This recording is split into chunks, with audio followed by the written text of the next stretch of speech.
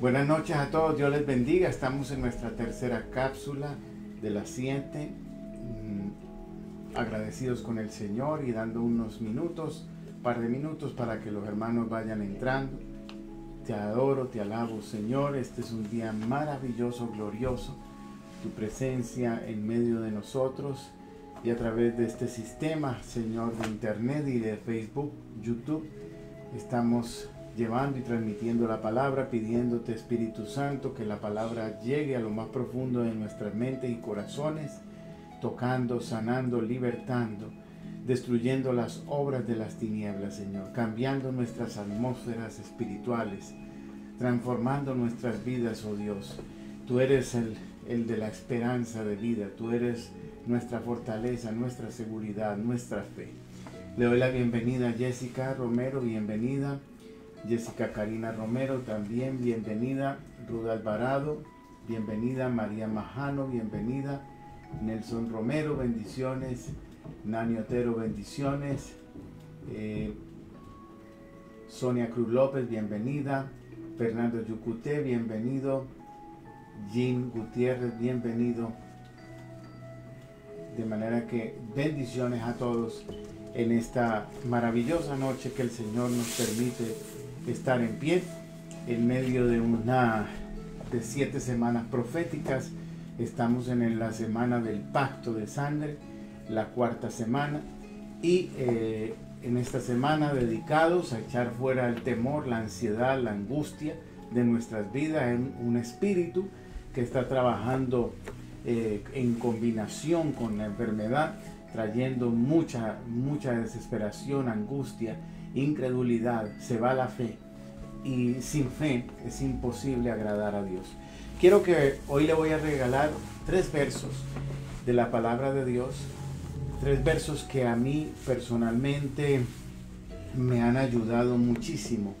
Es parte, eh, uno, dos, cuatro versos que de lo que yo eh, todos los días tengo unos versos que me sé de memoria y que los eh, recito, medito en ellos. Y este es Filipenses capítulo 4, del 4 al 7.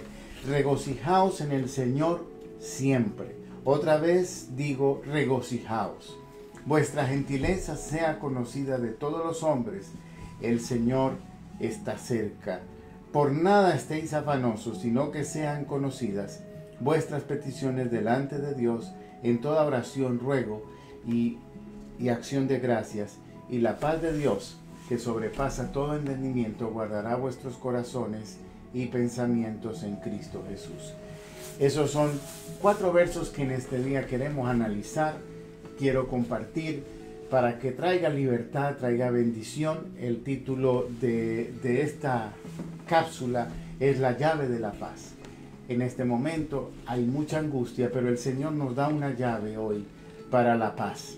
Em, el verso 4 dice, regocijaos en el Señor siempre. Esa palabra regocijaos es alégrate en lo que el Señor ha hecho en tu vida. Alégrate en el Señor. ¿Cómo así?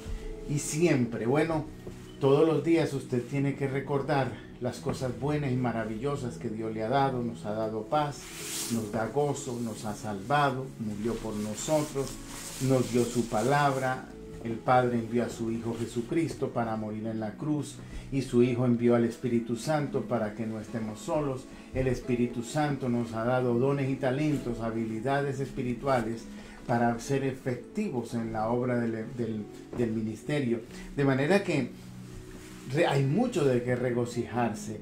Regocíjate, alégrate en el Señor otra vez te digo, alégrate, alégrate, alégrate, en vez de estar pensando en lo malo, en lo negativo, en la muerte, en la enfermedad, en lo que va a venir, ¿por qué no te alegras en el Señor? Alégrate en el Señor, regocíjate en el Señor. Verso 5, vuestra gentileza sea conocida de todos los hombres, eh, vuestra gentileza, esa es vuestra bondad. Eh, que seas bueno con todas las personas cómo tú tratas a las personas. Hoy estamos recluidos, eh, estamos en un retiro profético en casa. ¿Y cómo tú estás tratando a tus hijos, a tu esposa, a tu esposo, a las personas con las cuales vives en la casa. Es un tiempo de ser bondadoso, sé bondadoso, sé bueno. Eh, eh, ¿Por qué no llamas a los hermanos, a la familia y le das una palabra de aliento, le, ayudas a seguir adelante, le fortaleces? sé bueno con las personas. Dice, el Señor está cerca. ¿Cómo así que el Señor está cerca? Sí, porque normalmente nosotros nos comportamos de una manera cuando estamos con la gente de más confianza y nos comportamos de otra cuando otra persona de no tanta confianza llega.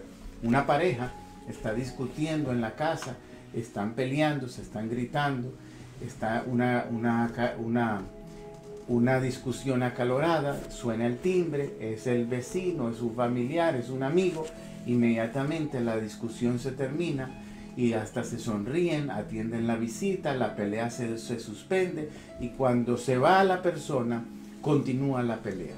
Eso, eso es lo que normalmente hacemos.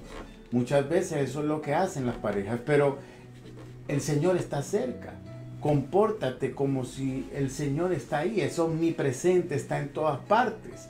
Entonces, comportémonos de esa manera con las personas que nos rodean. Seamos buenos reconociendo que el Señor está ahí a tu lado. No grites, no pelees, no te enfades. Verso 6. Por nada estéis afanosos. Esa palabra afanoso es ansiedad. No estés ansioso. Hablamos eso en al mediodía, a las 3 de la tarde, estuvimos en esa cápsula. Preocupado, ¿qué significa preocupado? Ocupado antes de que sucedan las cosas. Preocupado, ocupado en algo que todavía no ha pasado, todavía no ha sucedido. Estás preocupado por contagiarte, pero si no estás contagiado, estás preocupado porque te contagiaste y entonces eh, piensas que no vas a sobrevivir estás preocupado en algo que no va a suceder. Ahora, si estuviéramos preocupados en cosas buenas, sería maravilloso. Eso es lo que se llama meditar en la palabra. Pero nos preocupamos en las cosas malas. Eso es lo que nos angustia, nos quita la fuerza, nos elimina la fe. Si quieres preocuparte, vamos a decirlo de esa manera, ocuparte antes, pues tienes que ocuparte en lo bueno, en creer que esto va a pasar pronto, que es un tiempo específico de Dios, una temporada de Dios para nosotros como seres humanos, como familia, como iglesia, como país, como el mundo entero está cambiando, pues preocupémonos de esa manera. Si no, y además dice, en vez de estar ansioso y, y afanoso y preocupado, sino que sean vuestras conocidas vuestras peticiones delante de Dios en toda oración y ruego con acción de gracias. Esa es la llave de esta noche. Cuando estés preocupado, ora al Señor. Señor, tengo esta preocupación, tengo este problema, tengo esta ansiedad, tengo esta angustia. Señor, gracias porque yo sé que tú me estás escuchando. Yo sé que tú estás conmigo y adoras al Señor. Eso se llama acción de gracias. Verso 7. Y la paz de Dios. ¿Qué es esa paz de Dios? cero preocupación, cero preocupación, que sobrepasa todo entendimiento, eso es por encima de la razón de las circunstancias, guardará, protegerá nuestro corazón y nuestros pensamientos en Cristo Jesús. O sea que la llave de esta noche es bien sencilla. Cuando te sientas angustiado, deprimido, con temor, con miedo, se está yendo la fe, ve al Señor, Señor, estoy sintiendo esto, ayúdame. Yo, yo necesito, como muchos en la Biblia que Jesús les preguntó, ¿tú crees? Y ellos dijeron, sí, yo creo, pero ayuda mi incredulidad. ¿Cómo así que crees y, y estás pidiendo ayuda para tu incredulidad? Porque tenemos luchas, batallas en nuestra fe. Cuando vemos las noticias, cuando nos caen noticias, mensajes, cuando alguien nos dice, mire que pasó esto y que pasó lo otro y que pasó esto, entonces se debilita nuestra fe, nos entra el temor y ahí es donde tenemos que ir al Señor y decirle, Señor, tengo miedo, necesito tu ayuda, necesito tu fortaleza, levanta mi fe, ayúdame en mi fe, yo creo, pero ayúdame en mi incredulidad. Y entonces va a pasar esto, la paz de Dios, es una paz tan poderosa que absolutamente nada ni nadie te la puede robar. Eso se llama cero preocupación. Y eso sobrepasa todo entendimiento. ¿Cómo yo puedo dormir bien? ¿Cómo me puedo levantar contento? ¿Cómo puedo pasar todo mi día feliz si estamos en medio de estas circunstancias? Porque tengo la paz que sobrepasa todo entendimiento. Cero preocupación. Por encima de la razón. La razón dice, tienes que preocuparte. ¿Cuándo se va a acabar esto? ¿Cómo vas a hacer mañana? ¿Cómo vas a hacer la próxima semana? Y si duran más semanas más, y si duran más tiempo más. Cero preocupación. Confía en el Señor. El Señor no nos abandonará. Él está con nosotros todos los días de nuestra vida. Y Él guarda y protege nuestro corazón.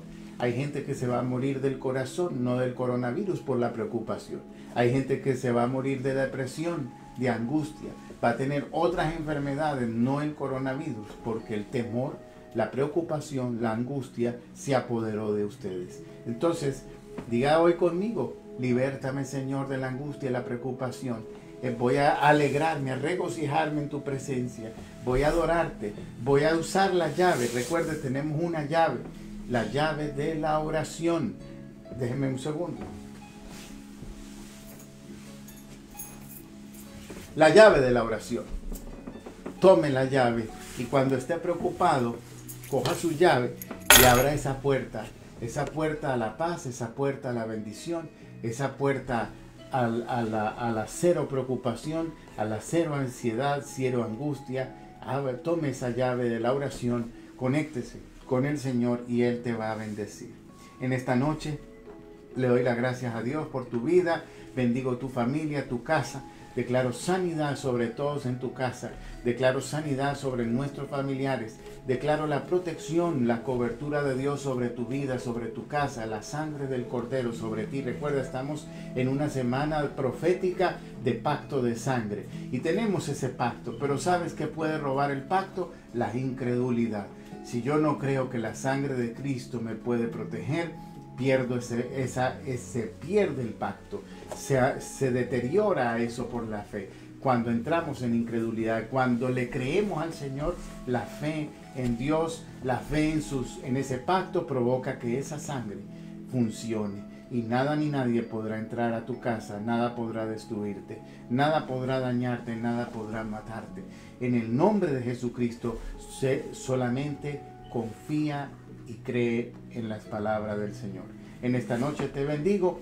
Mañana tenemos las cápsulas a las 9, a las 3 eh, de la tarde y a las 7. Posiblemente la haga más temprano porque tenemos una misión, ir a hacer compra mañana. Y cuando hay esa misión, tengo que hacerlo un poquito más temprano. Pero ahí a las 9 ya va a estar seguro, con la ayuda del Señor, la, la cápsula de mañana. Recuerde, estamos analizando el Salmo 34 en la mañana. Que Dios les bendiga, Dios les guarde, la paz de Dios sobre cada uno de ustedes y la comunión con el Espíritu Santo. Amén.